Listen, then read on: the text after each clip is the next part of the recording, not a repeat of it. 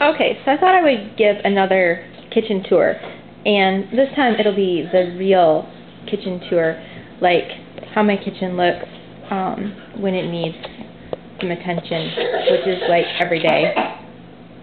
So, anyway, um, yeah, I need to get busy, and I'm kind of procrastinating. Hang on, sweetie. Some milk in a cup? Yeah. Okay, don't whine. I'll get you some in a little bit, okay? So, I'm kind of procrastinating because I don't really feel like cleaning up the kitchen or the rest of the house. Um, but I need to. So after this video, I will.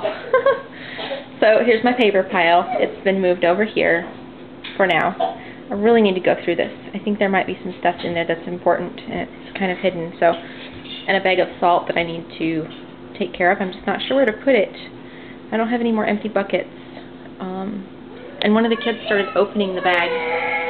So, um, it's still there. I need to figure out what to do with it. Maybe jars or something. Some bananas. These are all clean dishes. I just need to put them away. My crock pot needs to be, get some beans in it or something. Start cooking something in it. I'm not actually going to put it away. My coffee that I made this morning. Um, and a bunch of dirty dishes. But the good news is, look in here. Empty! Yay! So that means I can fill it without putting anything away. So that's good. Something is going right. Um, my water kefir that I'm making over here. This is one that I just got started this morning. And then this is my last batch. I put some blueberries in it to hopefully have some blueberry water kefir. So we'll see how that goes. Um, and paper airplanes. We've been making paper airplanes today. And more dishes and more papers. Uh, I'm not getting off the controllers right now. And um, the stove is pretty clean, so that's good.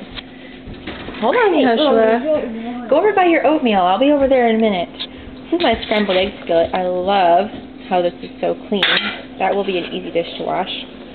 My milk keeper over here.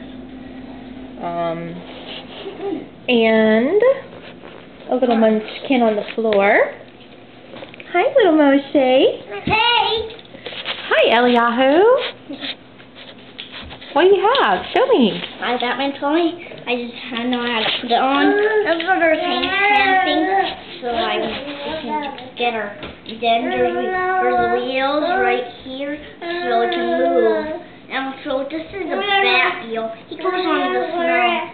So bye bye. Arctic Batman? I get Batman. Batman knows. Batman knows anything. He knows what to do. Oh. Anything to do. I mean, Batman is smart.